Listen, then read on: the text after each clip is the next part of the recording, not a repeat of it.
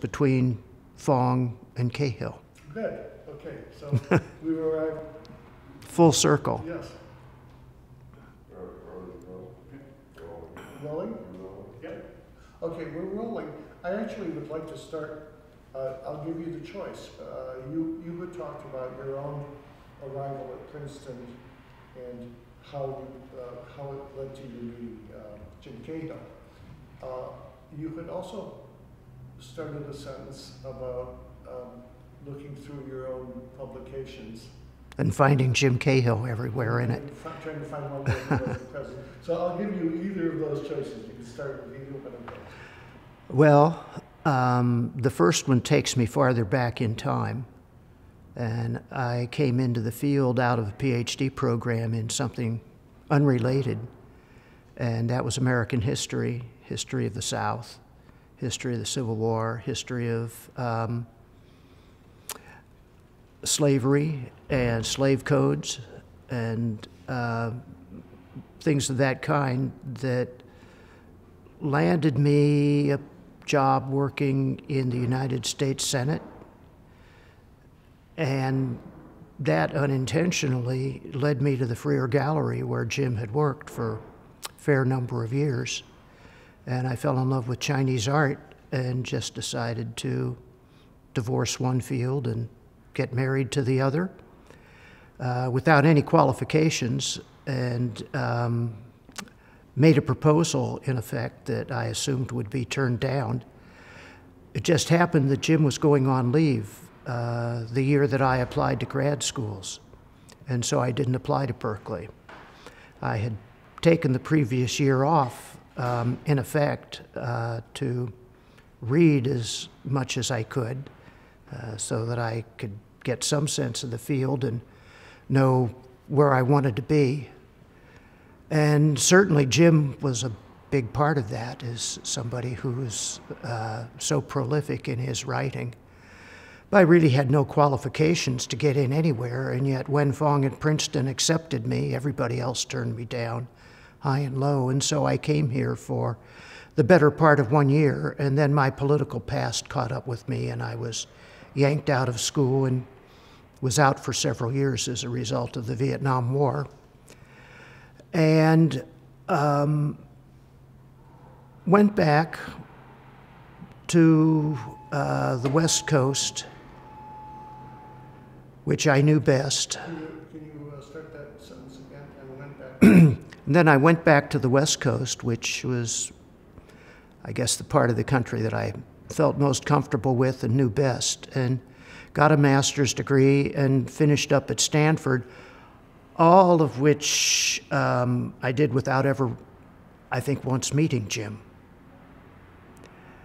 And I wrote a dissertation that would never have been permitted at Princeton and um, received a lot of negative feedback in those days because it was so highly politicized, which was really not welcome in the field. Uh, this was not a field of social history. This was not a field of political history. This was a field of art history for the sake of art history. And that meant style, the study of style, its language, um, and it was all about itself. Jim was in the vanguard of those people who knew the language of style as a vocabulary for talking about other things. And um, the first occasion we had to meet that I can remember was a symposium in Hong Kong in 1976, I think it was. And it was the first time I had a chance to present my work. And it went over very badly. And it was because the audience did not like the direction that it was taking. And the one person who stood up to defend it in principle was Jim. He said, you know, if this rides on the facts, if. Hey, Chica.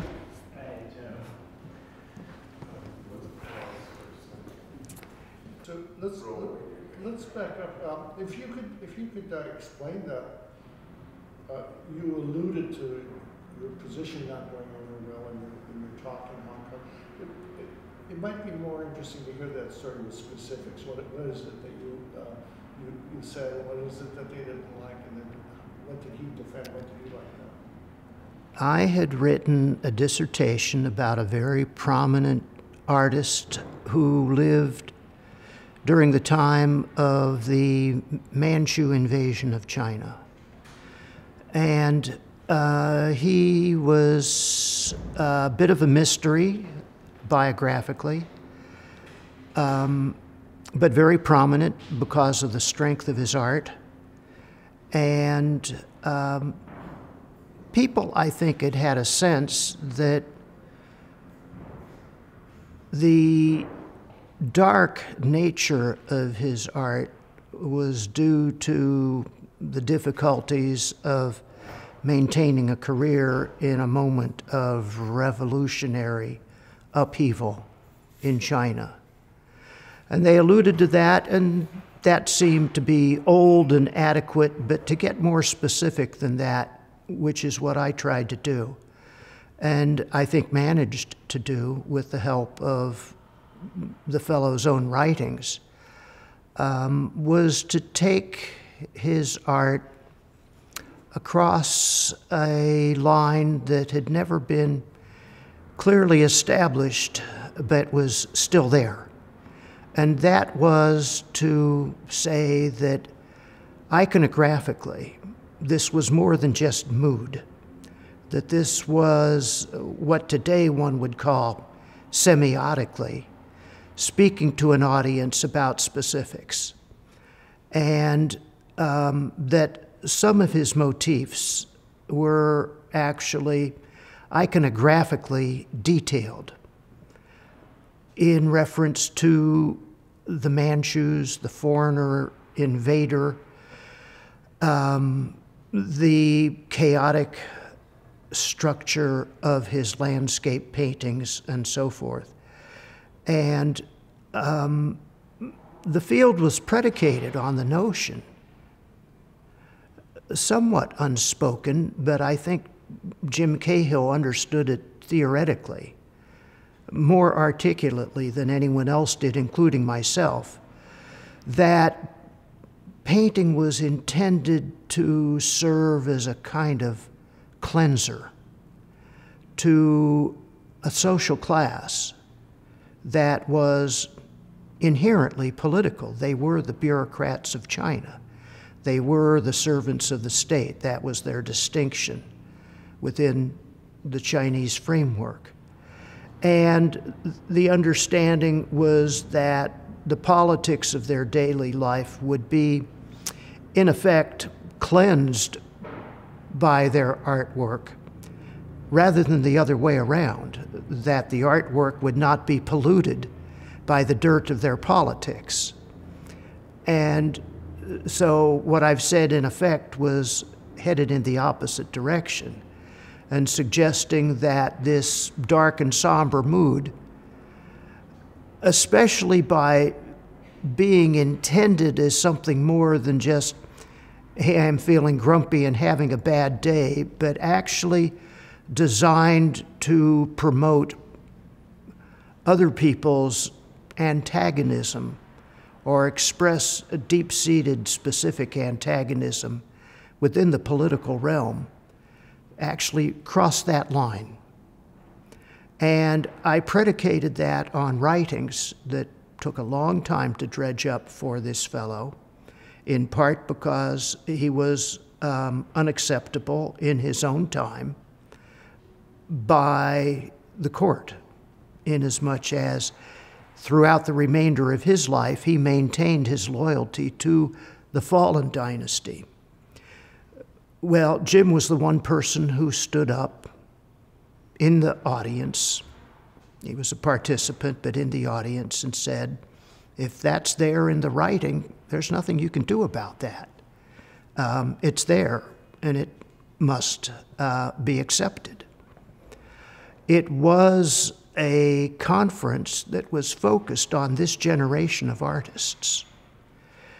And so I went into it naively, assuming that there would be lots of presentations like my own that would relate the politics of the day to the art of the times. And in fact, there was only one slight hint of that in one other paper, which was by Chu-tsing Li from University of Kansas. And the rest of it was still art for art's sake. And I was really quite surprised by that, having come out of a background of political history, dealing with an entire class of people whose profession was to operate in the political realm. Um, somehow it had not crossed my naive mind that they were supposed to keep their art and their politics separate. And even if that was never quite recorded as a rule of behavior, it was there, it was accepted as the appropriate um, mode of operation. And we had no way of accounting for those occasions when it seemed to be violated.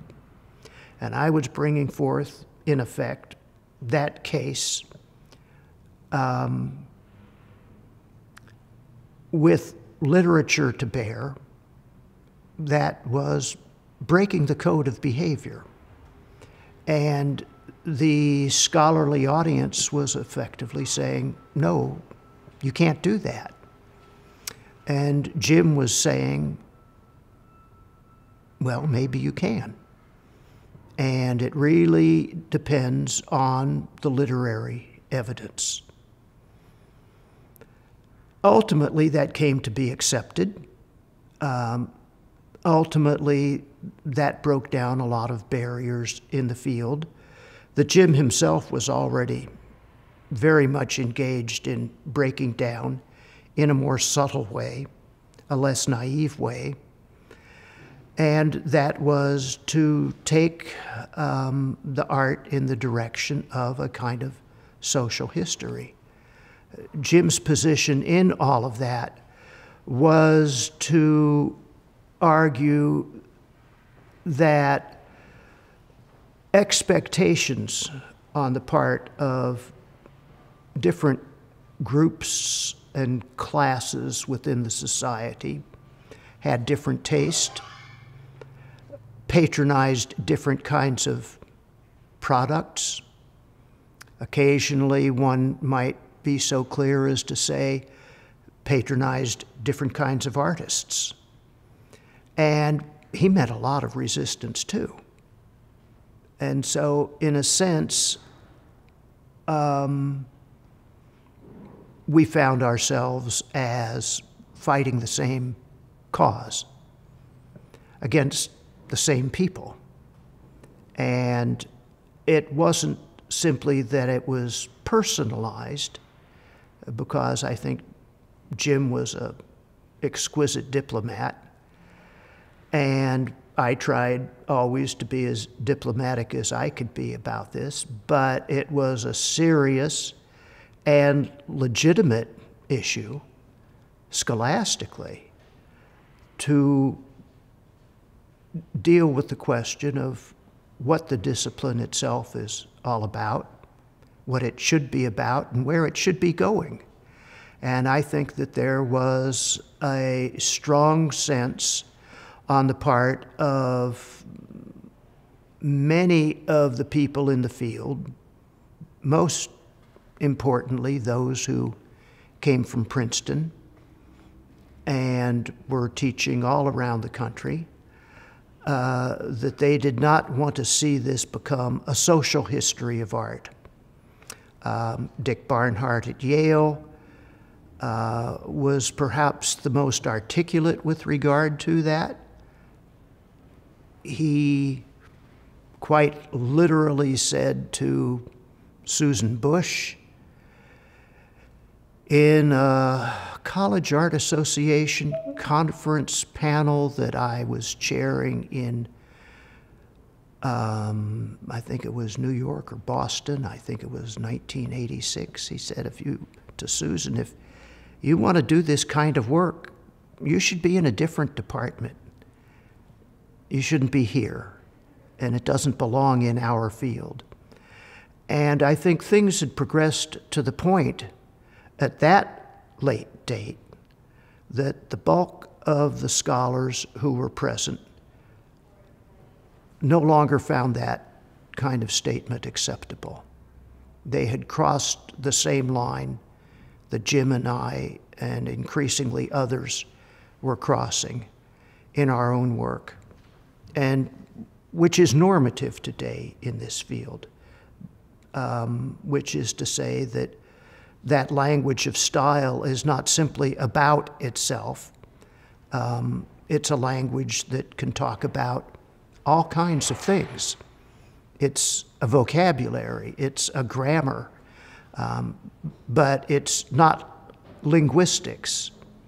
And in effect, um, the field was stuck on linguistics at the time that I came into it. Art was about art, it was about itself. It was an internal, self limiting dialogue. And I don't think anybody did as much to change that as Jim did.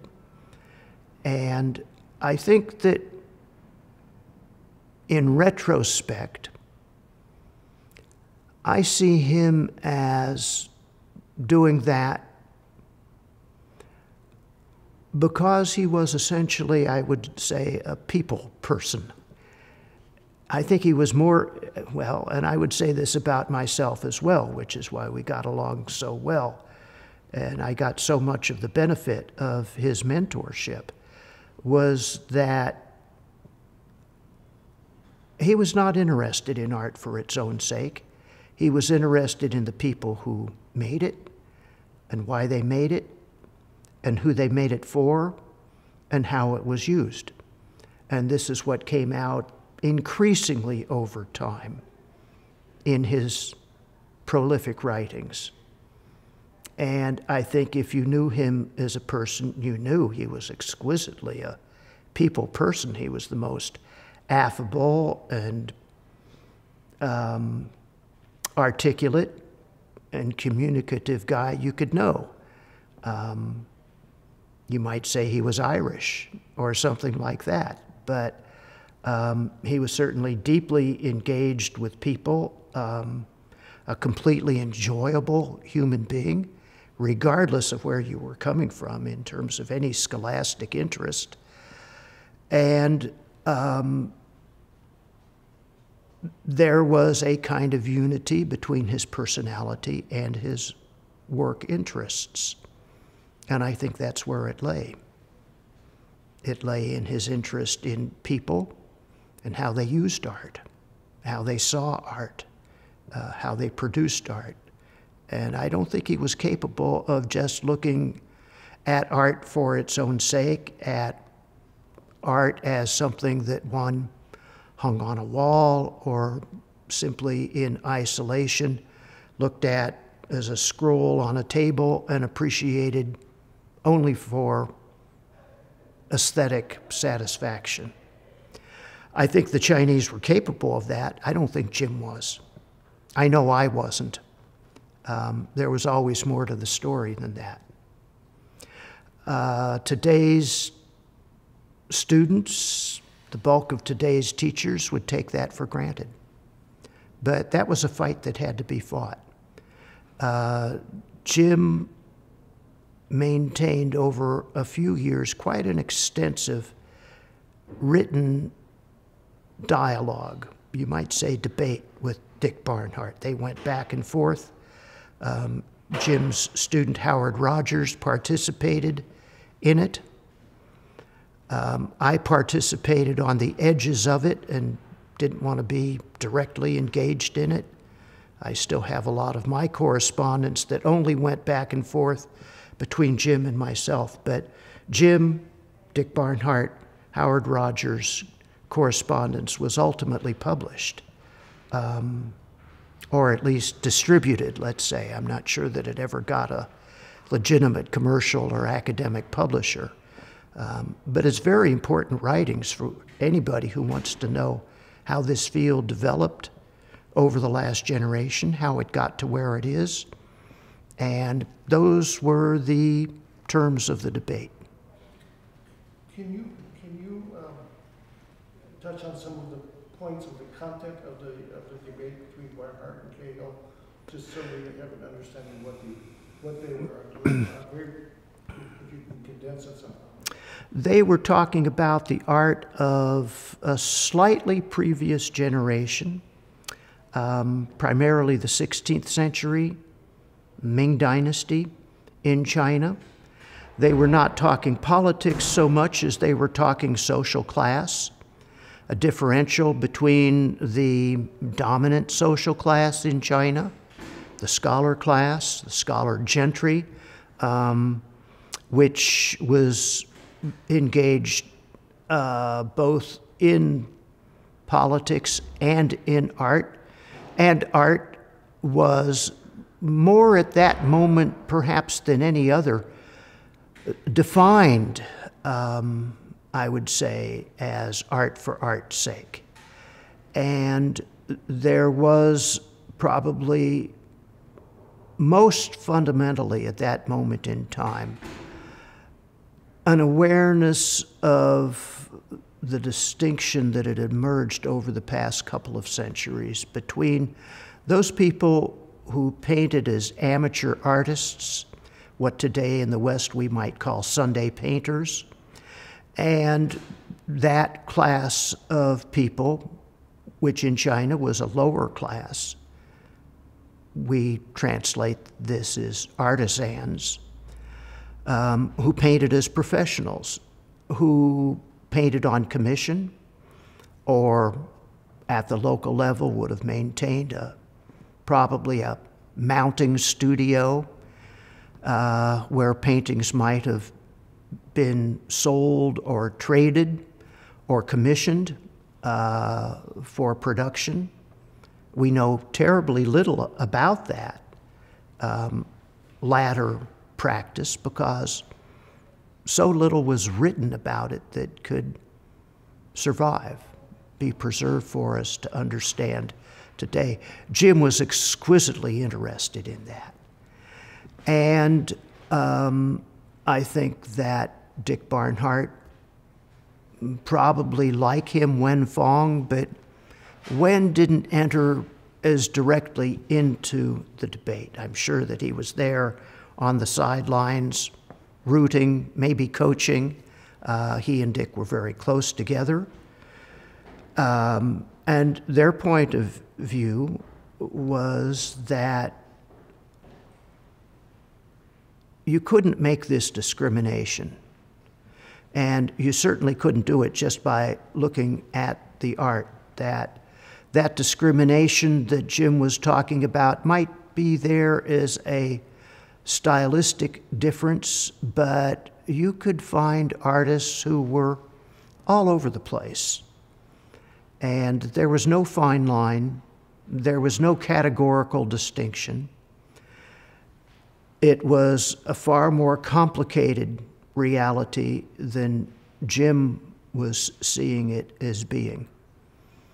And they certainly had a strong argument to make. Both sides did. And it was a challenge to sort things out.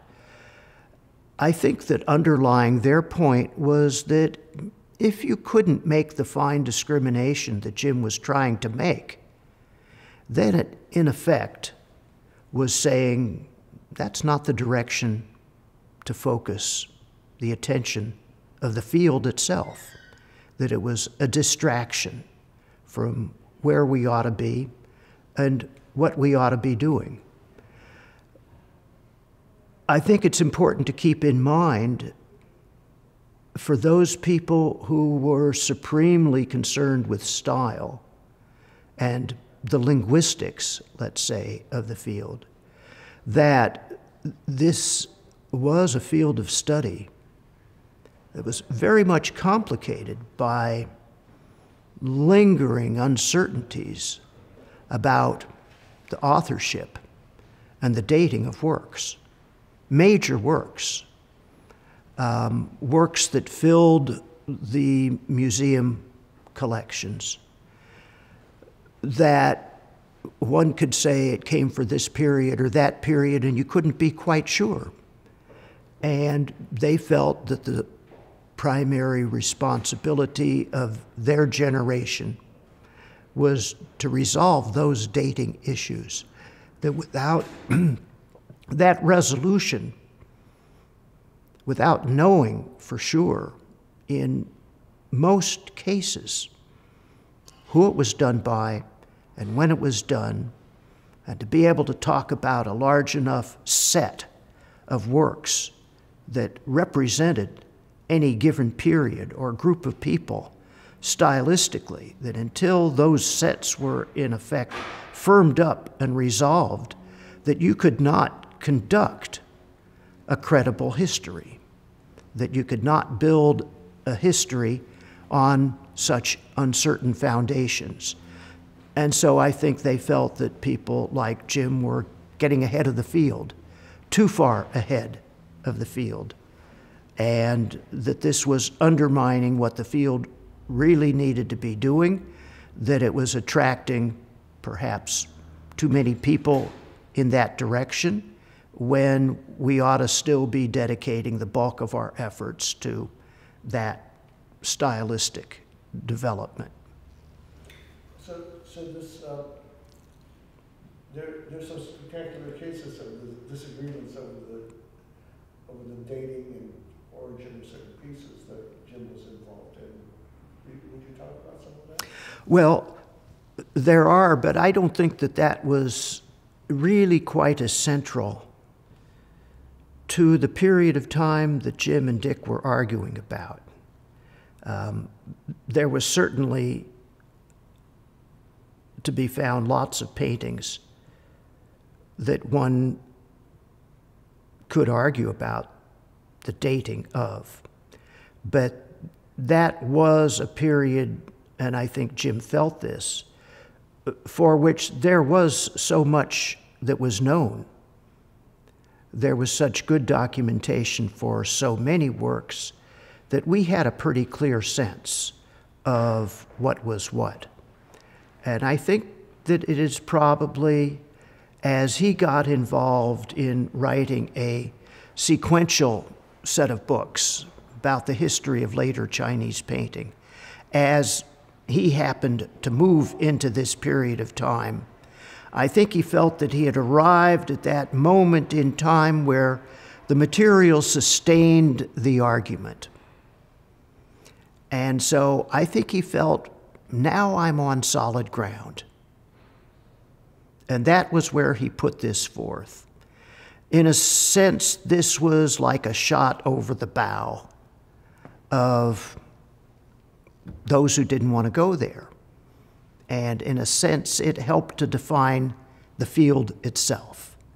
It's those who were ready to go there, happy to go there, prepared to say, this is where we want to end up, as opposed to those people who, it's a little hard to say, but I think just weren't looking that far down the line or hadn't defined what might be out there for themselves.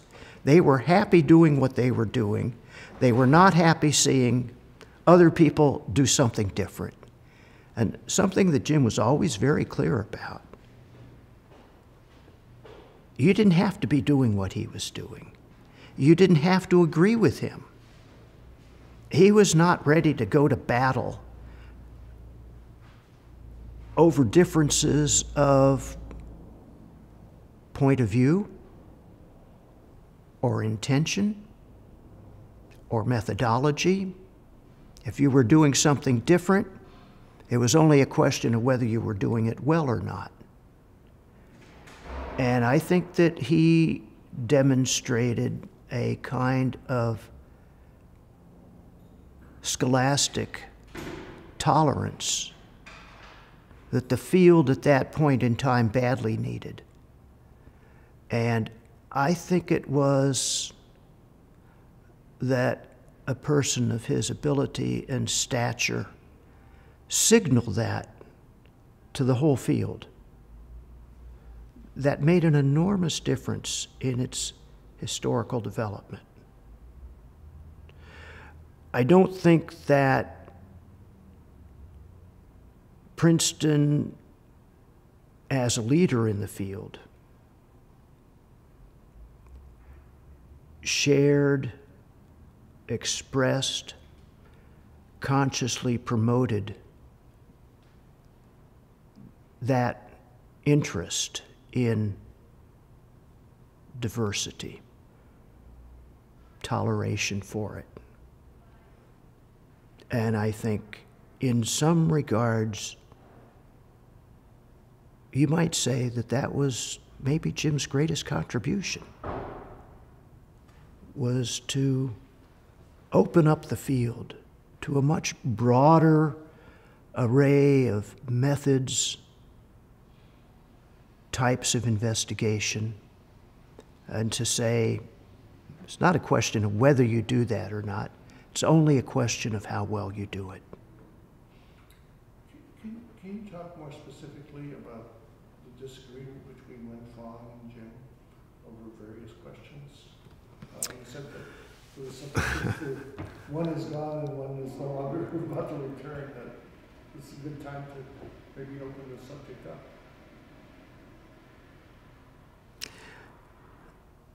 You know, it's possible to say that Jim and Wen got along famously despite differences. Um, they always managed to be able to sit down and talk to each other. Um, but there's no overlooking the differences that they had, and they were absolutely fundamental. It's possible to say that they differed on everything. And they differed on how they saw everything. They differed on how they saw each other. I remember coming back from a conference session that was held here at Princeton in the late 90s. And at the end of a panel session, everybody had wandered off, and the only people left hanging around were Jim and Wen, and for some reason myself, and Cao Xingyuan. And Wen said, I think we didn't know where everybody else was going to lunch. And Wen, being local, said, hey, let's go off to Prospect House over there. I didn't even know they were open on a weekend. Um, maybe they weren't because I don't remember eating anything. I remember sitting down at a table, big round table, with Jim on one side of me and Wen on the other. And they did all of the talking for the next hour, and I wish to God I had a tape recording of it because their whole conversation was about their relationship. And it sort of boils down to whether their relationship was healthy and healthy for the field. And they argued about that because they argued about everything. And you, if you know them, you wouldn't have to guess who was taking what position. Um, Wen thought that their disagreements were just what the field needed and had served the field well, and they'd managed to be such wonderful friends um, despite differences in outlook. And uh, there were a lot of things that Jim could have said that day that he didn't. But his point of view was that he'd wish their relationship had been a whole lot better and a whole lot nicer and a whole lot better for the field. and that it hadn't served the field all that well. And I think um, that the unspoken part of that, which I heard not infrequently when it was one on one from Jim, was that Princeton uh, had been all powerful when it came to the issue of the job market. That being East Coast as opposed to being West Coast, Californian, that Wen was in a position with his teaching at Princeton and his curatorship at the Metropolitan Museum to place virtually every one of his students in a good position. Whereas uh, Jim himself had only managed to place his students, for the most part, in either second tier positions, or if they were good positions, they were still only West Coast. I think the single thing that rankled him the most was his student Howard Rogers, who is a, just one superb scholar, as good as it gets.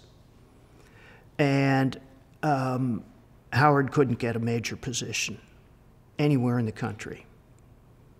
As far as I know, I wasn't party to these things back when they were happening, but um, Howard ended up, after not getting one position that Jim had wanted for him and that I think Howard would have been not only well qualified for, but quite happy with, left the country and went to Japan and um, was uh, over there for a long period of time instead of being one of the leading contributors um, to the production of students here. And um, Howard had to make his own way, which he did exquisitely well in his own terms.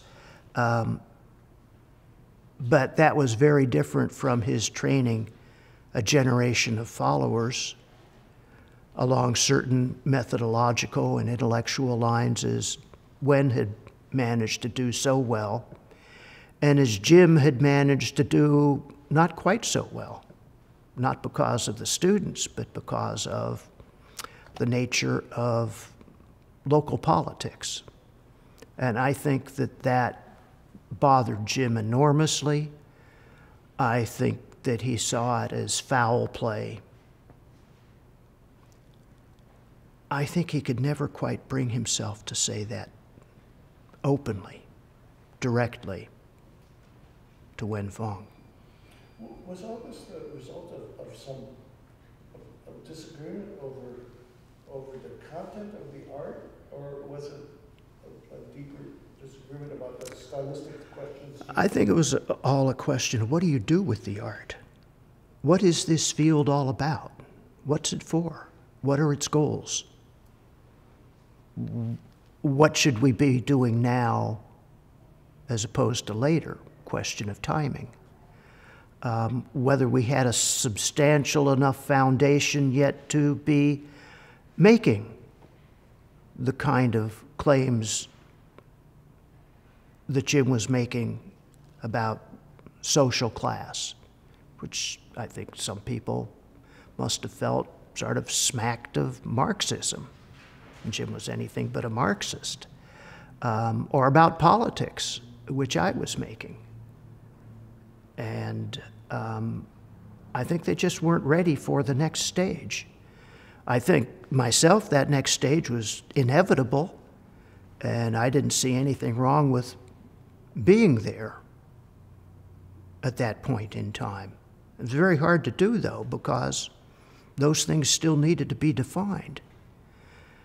And maybe it's not surprising that it was both difficult to come up with the first definitions. And in a way, I would say I did so perhaps naively without as good a grasp of some of the old Chinese attitudes that one could intuit but maybe never find so clearly written as to say, here's what we mean to tell you. Um,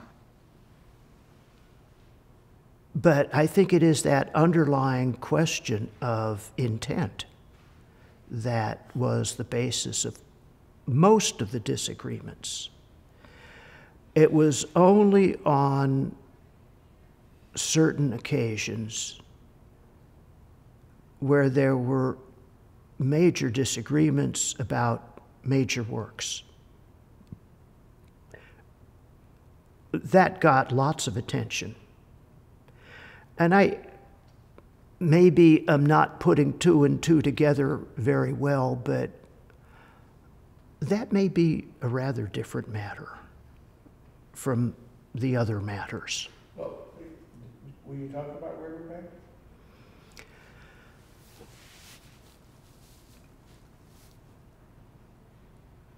I don't know that uh, the differences between them, between Jim and Wen, didn't somehow contribute to the levels of disagreement that were expressed, but I don't think that they were central to it. Um, it is a bit hard for me to understand, despite all of our communications about it, and they were extensive, why Jim saw that painting as he saw it. This was not a question of politics or social class, what one is doing with the art. This was a purely stylistic, connoisseurial issue. This was playing with Wen Fong on his home field. This was not challenging the field. Um, I'm not sure that it was challenging the methodology. I think it was challenging maybe the common sense that underlay it. And I think that there is a question of where we ended up in the debate.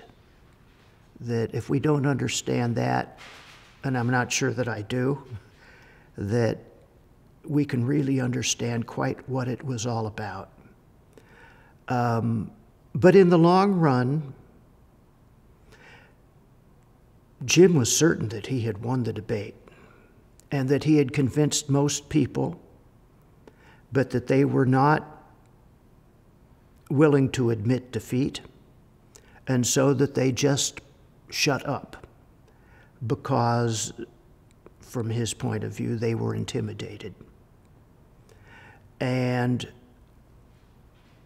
Wen was sure that the debate had been settled on his side, um, though the fact is that the debate began with the claim that this particular painting was by this famous artist, fundamentally important painting as a result of that because we're not sure if there are any other authentic paintings by him. Dong Yuan by name, and that this was an authentic Dong Yuan painting, signed Dong Yuan of the place, of the time. And the Metropolitan Museum no longer stands by that claim. It is now attributed to Dong Yuan, which is the Metropolitan's label for it, and that means that the Metropolitan Museum itself is not willing to stand by the signature. And if they don't stand by the signature, then who is it really by? When is it really done? And even what is its geographical origin in a period of time when art was highly localized and very much the product, landscape arts in particular, of the place that it came from, as well as the time. And so um, I think everybody has their own view about that. And I'm not sure that most people know much more than their own view. Do you have a view? I have a view. Um, I only have a very intuitive view of other people's attitude. Um, Jim was, as I say, absolutely convinced that most people had no choice but to see things his way, and he couldn't understand why they didn't and why they didn't admit it. My view is um, that most people don't share his point of view, that very few people trained in the field share his point of view, which is the claim that this is a, 10 centuries later than that artist. 10 centuries. Of course, if we can be a thousand years off with regard to a work, then that old issue that we talked about of whether we have a secure enough base to use the language in more than a purely linguistic way is yet possible.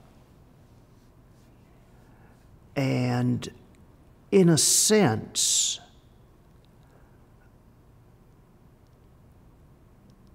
Jim was fighting against his own cause.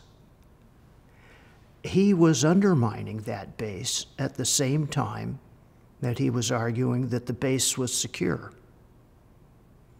And I don't think he ever put that together in his own mind. Not to say that if he had serious doubts about that, that he shouldn't have pursued them. How do you mean that? Put that undermining his own case?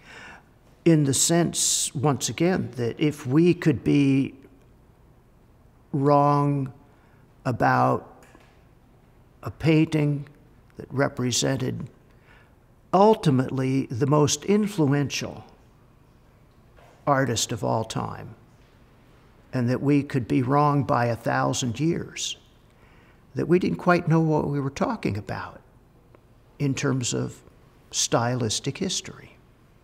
And that until we had a secure stylistic history, we couldn't use that as the foundation for a social or political history. And I don't think to the best of my knowledge, and I never said it to Jim, I don't know why, that this is something that um, fuels that old debate that you had with Dick Barnhart and somewhat unspoken with Wen Fong about the social history of art. But it did have that impact, um, at least theoretically.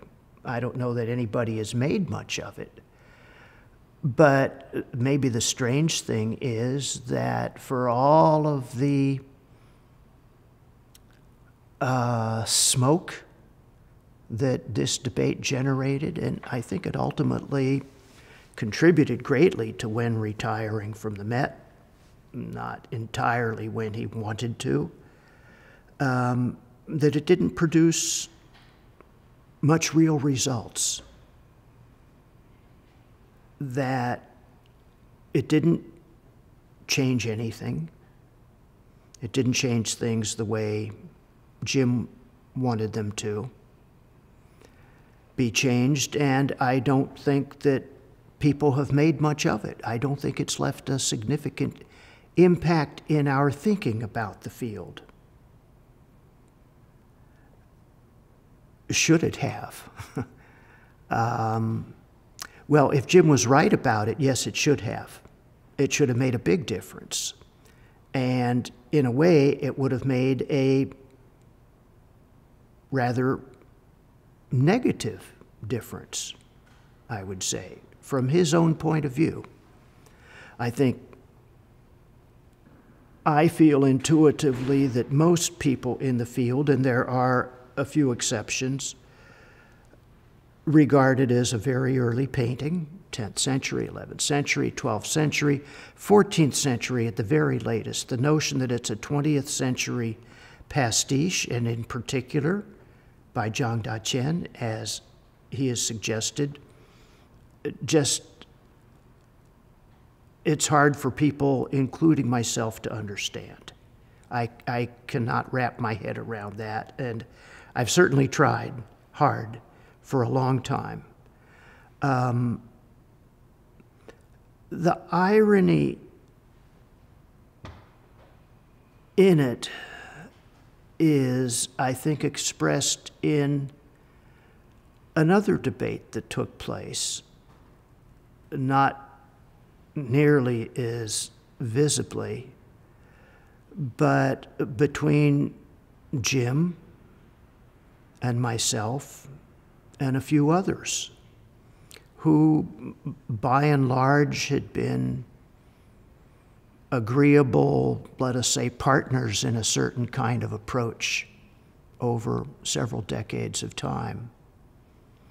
And um, this was generated by an article that Jim published with regard to, in effect, state of the field, where he complained loudly and somewhat bitterly that we had abandoned that stylistic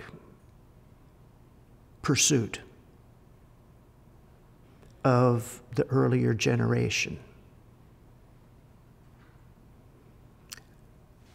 And that sounded more like Wen Fong to me than it did like Jim Cahill. It was as if he had somehow reversed course. It was an article that he had written, I forget how much earlier, but he gave it to Marsha Haufler, who had been one of his students and who was the uh, editor in chief at the time of one of the major journals, um, Archives of Asian Art.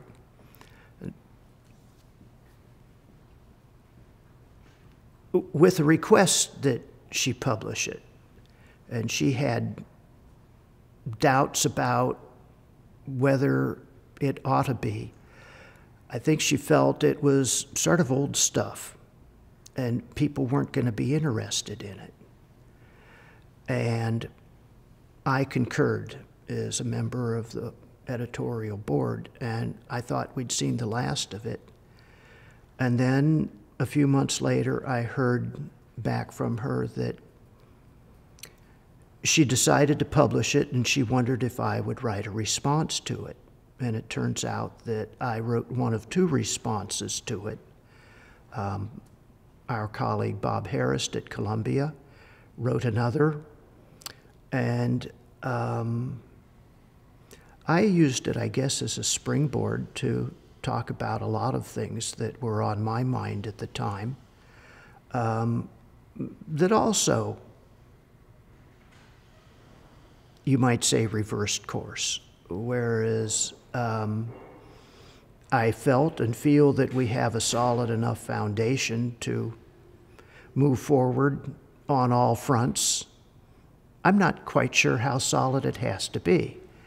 And so while Jim was sounding rather Fong ish in terms of challenging the security of our dating. I was suggesting that using a particular area in time that had always very much engaged me, which was the Sung to Yuan transition and the way that Princeton had dealt with that as constituting an enormous change in direction, which could only be explained by a change in politics and society. Um, that I thought that they were drawing much too sharp a contrast in doing that, that looking at the works that were out there didn't substantiate their argument on those grounds. And the irony of that is, and I don't think I spelled that out too clearly, but the irony of that is that that reverses course too. That, in effect, that was Princeton using socio political terms that they were telling Jim and others not to engage in. And so it was pointing out inconsistencies within the field that, in effect, were all over the place.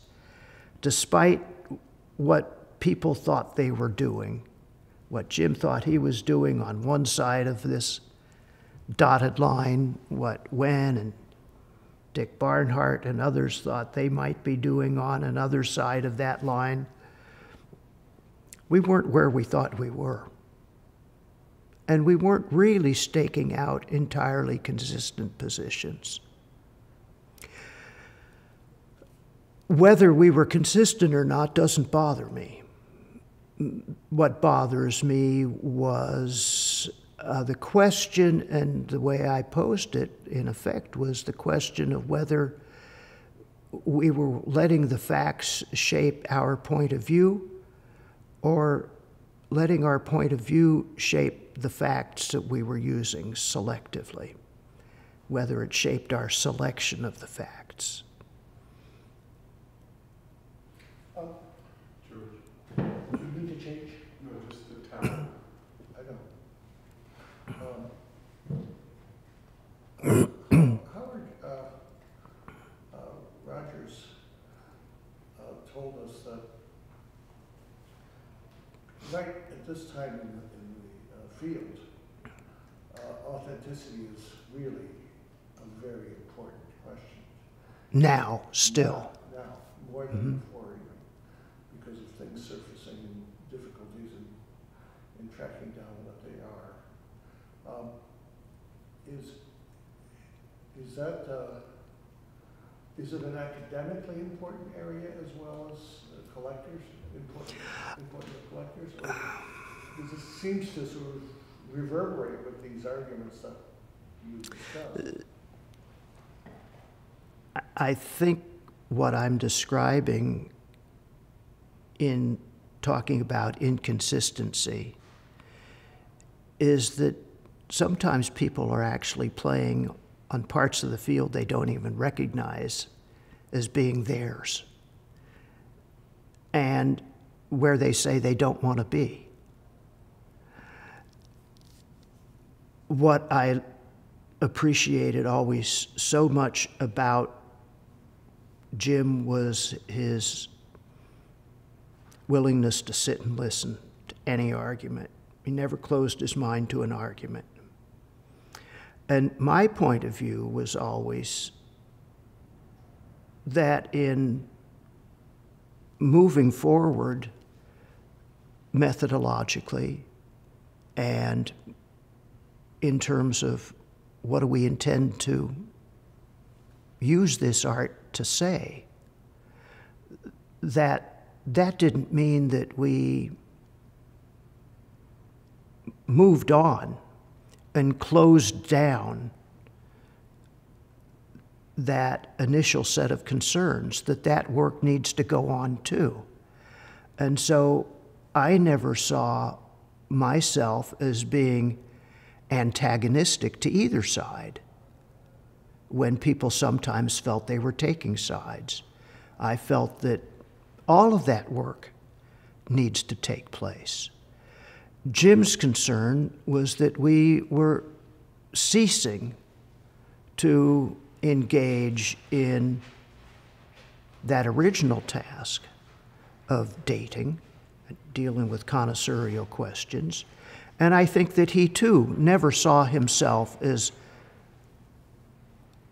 opposing that undertaking, but only opposing the opposition to moving on from it, to moving outward in addition to it. And I very much agree with Howard that there's still a lot of work that needs to be undertaken, especially given in the last 25 years or so the enormous amount of art that is only being reproduced and published for the first time in China after the end of that Maoist era. Um, that there's so much work that has to be dealt with in terms of placing,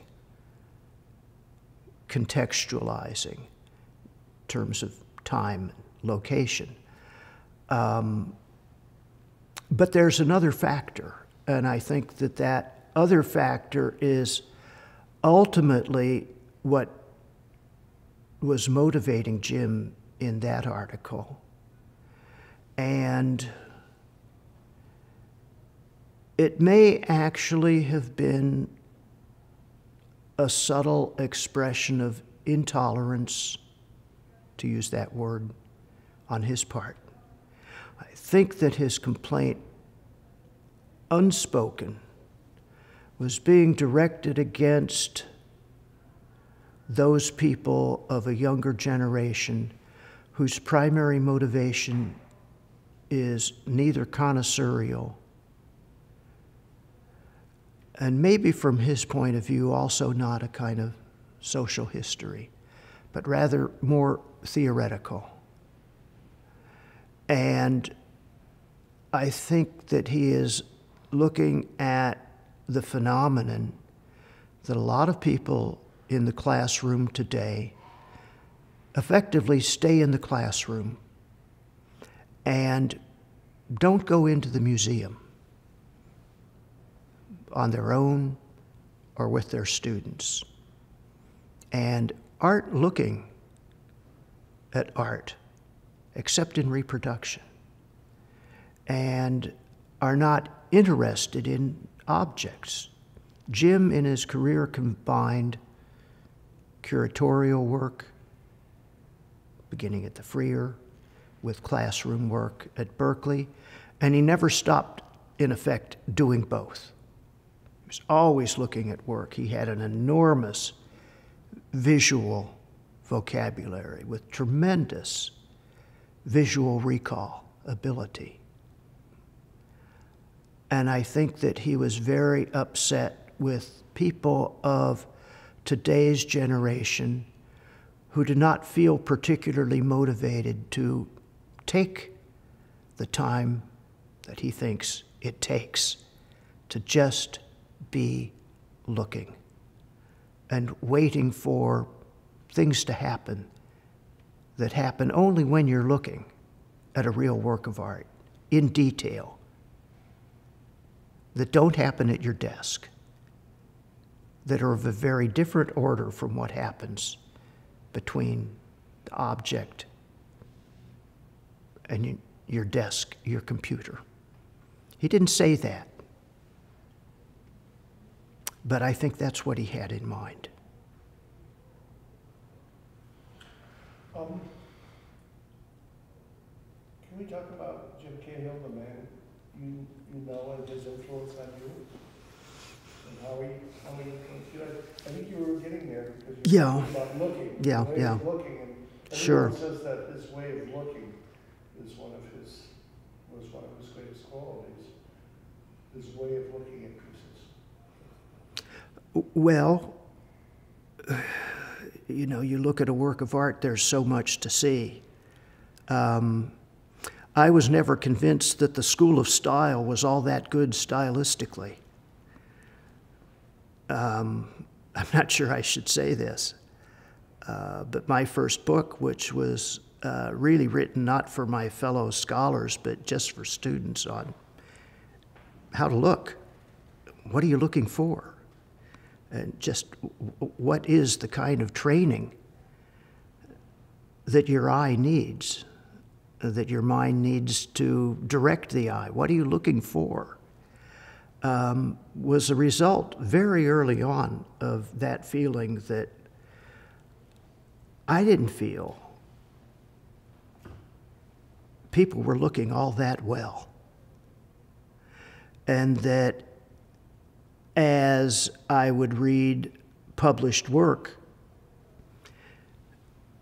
either we were seeing very different things in looking, um, which is okay with me if they're there, but far too frequently we were seeing things very differently. To a degree that's acceptable because we know people see things differently. We process. It's not just optics, um, it's mental. At the same time, I had the feeling that at that level where we could really talk about just optically what's there that we ought to be able to agree on the fundamentals of the visual language and the use of it, that we were doing a pretty crummy job of that. And um, I think Jim's ability was often um, not just at the level of that vocabulary, but to be able to pull things out that other people weren't seeing. And by and large, he did a very fine job of that. Um, but he stood up for a lot of people at a time when the field was really ready to expand rapidly and for a lot of different approaches. I mentioned how he really stood up, in my case, for a particular approach when it was meeting a lot of very overt, I mean, really articulated hostility.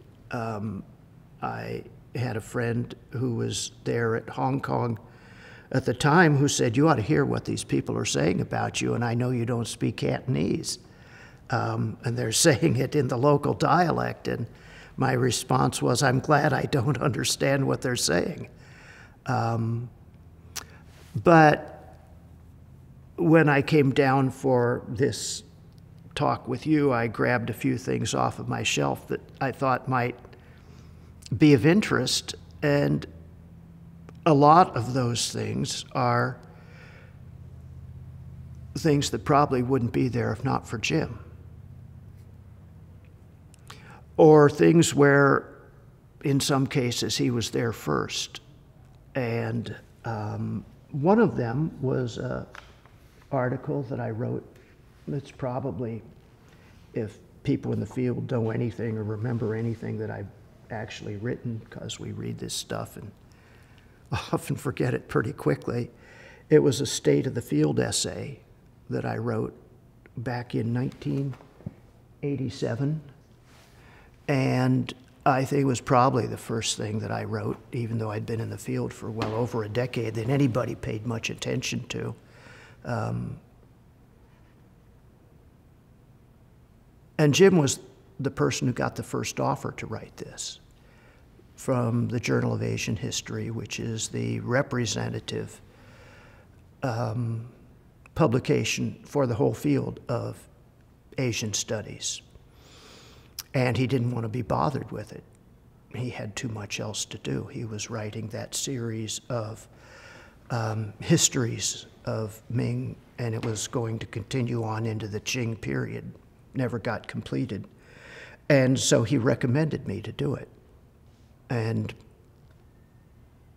and I did. that was that, at any rate. Um, I'm looking at publications on C.C. Wang. Um, both he and Wen Fong dealt extensively with C.C. Wang, who had his own way of looking that was different from either of them. Wen Fong was looking for structures, Jim was looking for forms of cultural expression. C.C. Wang was just into production, and you produce all of this with a brush. So he was just looking at brushwork, brushwork, brushwork. And uh, to me, all of these things add up. They don't detract from each other. You don't argue against them. Um, you can't do everything. So you do your part, you play your part in an orchestra, and you listen to the music, and you recognize that if you're playing drums, you still need the brass, and you listen to the overall contribution.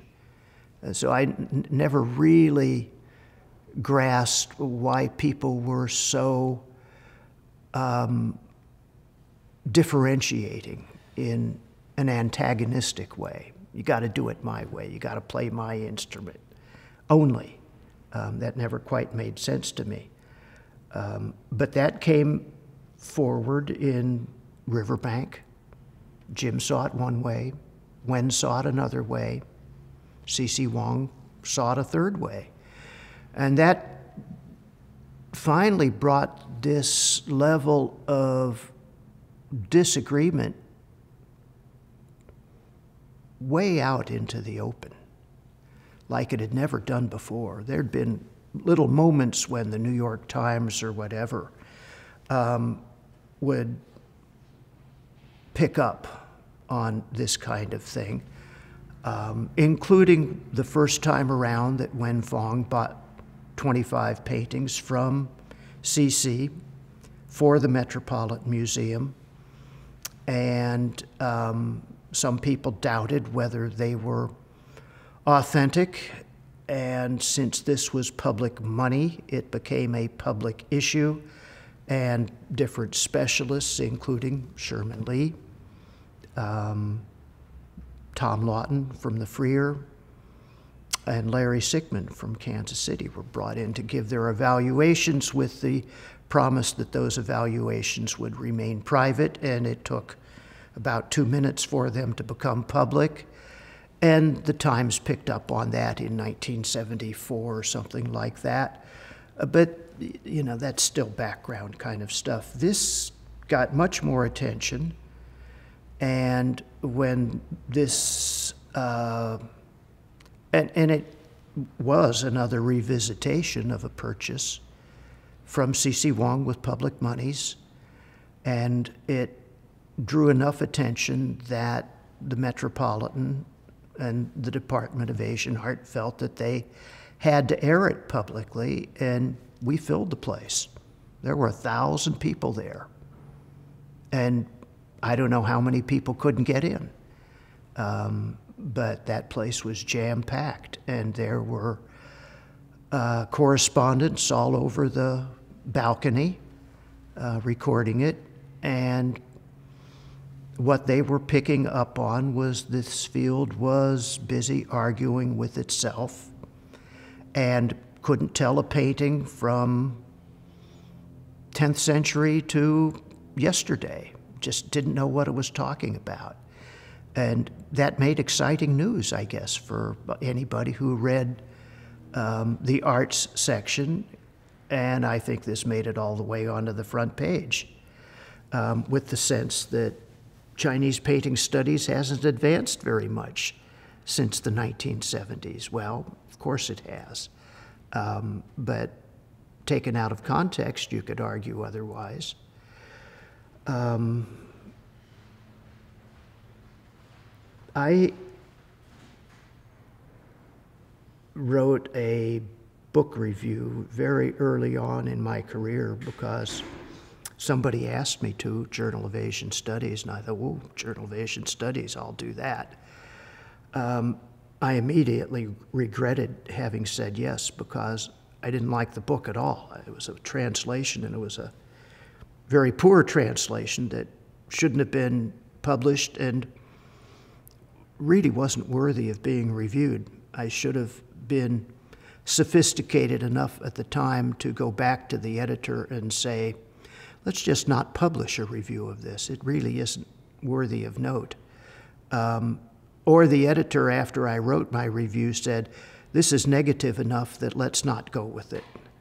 Um, I don't like being negative, and I don't like telling other people bad stuff. Certainly not, you shouldn't have published this, or you shouldn't be taking that approach, or whatever. The result of which is I said, that's it for me in book reviews, and I didn't write another book review for a very long time. It was over a decade before I did, and it was uh, to review the second book in Jim's series. The second, rather, the third. And the only reason I did it was that I thought that the review that had been produced of the second by Dick Barnhart um, had been very unfair and had taken some of his comments out of context and, um, in effect, had taken that argument we were talking about with regard to um, 16th century painting and blowing it up out of proportion all over again. And so I agreed to review the next in the series only because I saw it as an opportunity to talk about that book, um, the fourth, as well as uh, the third, I should say, as well as the second, and to revisit that earlier review. This is the machinery outside, we can't change it. It's not a helicopter. Uh, It's like a lawnmower or something, but it's stuff they, you know, they're not gonna, They're not going to stop for the next 20, 30 minutes. I think we got a Okay, good break there. Uh, yeah, we have to, we have to, uh, let's, let me try to pull a summary statement out of you. Yeah. Sentence or two about Jim Cahill and his importance to our history. Well, I think that Jim was the, um, you know, if, if you talk about East Coast, West Coast, if you talk about Princeton, Berkeley, which in effect in academics were really the two poles of the field, I think it's very much fair to say that Princeton dominates the field with its production of scholars. Wen Fong really did a wonderful job in terms of attracting fine, talented people and discriminating in his choices um, and in placing them in museums and classrooms on three continents. Um, Jim Cahill made his mark differently he had certainly fine students, and I wouldn't say anything negative on that score, but he didn't place them all around the world. Um, what he did was to place his books all around the world on bookshelves everywhere. And he was an incredibly fine writer. Um, actually, he changed my way of writing. He didn't adopt a dry, scholastic tone, but wrote as if he was talking to you, the reader. And you felt like he was listening to you too. He just had the ability to account for his readers. and to articulate complex issues so that people outside of the field could read and understand. And in doing so, um, he took the field beyond itself. He did that through a combination of writing skills. He sometimes said that he wrote too well, that he could convince people of things that weren't true if he needed to. He had greater doubts than his readership did sometimes. Um, but he also really had something to say in that sense that he was on the cutting edge of applying art and its language in China to the broader questions of who did it, why'd they do it, what were they trying to say, who were they saying it to, and what was the audience thinking of what they said. And he was able to put all of those things between two covers and share it with a far wider audience than comes into the classroom. And so I think he's left an indelible mark on the field, primarily for his writings um, and everything that those writings represent. Okay. Um, There must be some other things that you wanted to say, though. Mm. Well, you remember I said there's a lot of things I don't want to say Okay. Um, off camera. Okay. Uh, Yes, all the things you didn't want to say, that's next. Um, No, is there any, any other area? Oh, I think I've said a lot, and you can boil this down to a couple of clips that take a, a minute or so. No, there were three or four very nice Uh huh. pieces in there that I definitely think use. You know, there was this uh, late Jim Cahill question.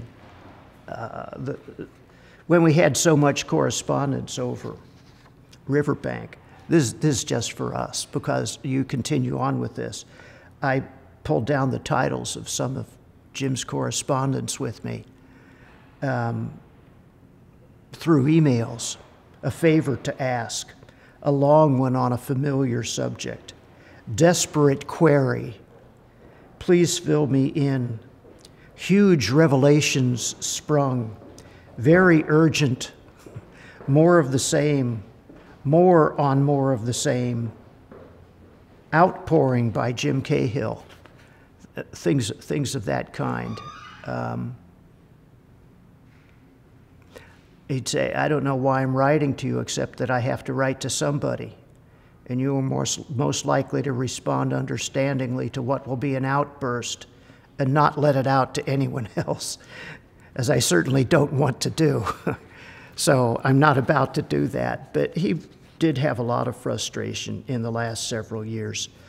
Um, as I said, he was a real people person, and in retiring, um, he lost a great deal of that audience. You can't see your readers. And he felt more isolated than he really was, especially when health issues became a factor, um, when he couldn't literally walk around and get around as easily as he used to. And he really badly missed not just having an audience, but having an engagement with people.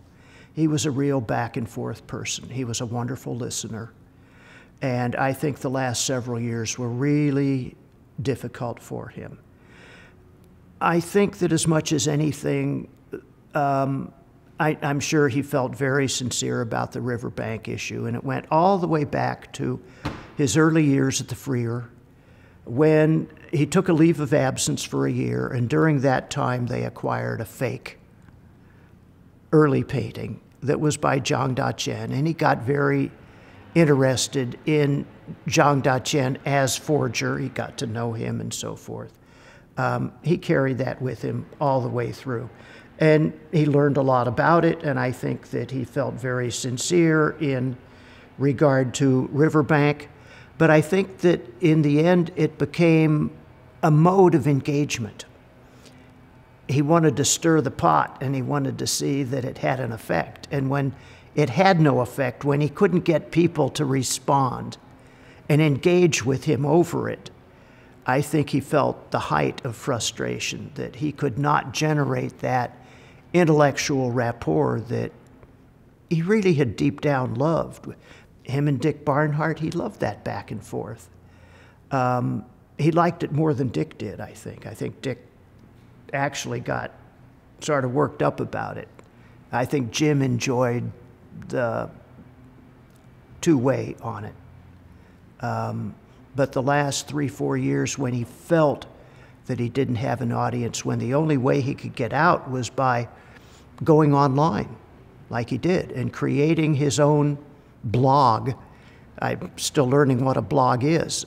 In a sense, that old man creating the first blog in the field, you see what a young mind he had. And he had that to the very end. And he knew it, and he could talk about it. You know, he could talk about the body going, but didn't want the mind to go with it, and it didn't. And um, he remained a remarkable character to the very end.